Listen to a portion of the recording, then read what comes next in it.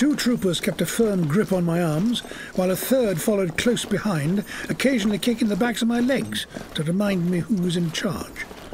I tried to memorize our route back to the surface, noting wall mounted signs, listening for speaker announcements, trying to mentally compare what I saw with the schematics I'd reviewed back on the Liberator, but it was increasingly hopeless. We seemed to reach our final destination. I braced myself for what awaited me in the control centre.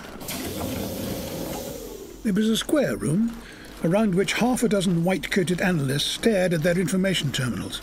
One analyst glanced up as the troopers bundled me inside. She was immediately reprimanded by her weasel faced superior, who told her to get back to work. His name badge told me that this pompous supervisor was called Kerrell.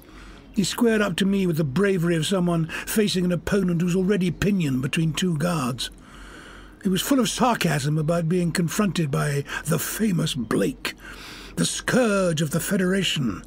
Not so impressive from what he could see. Well, you're not seeing me at my best. Kerrell seized a handgun from the nearest trooper.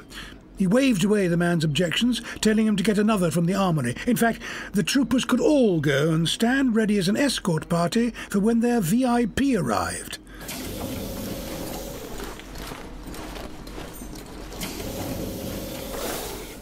He stepped behind me and used the handgun to prod me in the small of my back.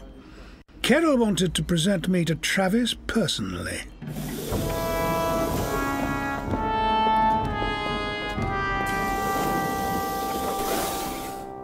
A familiar figure looked up as we entered the office. He was sprawled in the chair on the opposite side of an antique wooden desk. I wasn't expecting to see you here. Travis? I could say the same about you. Blake. Oh, Travis.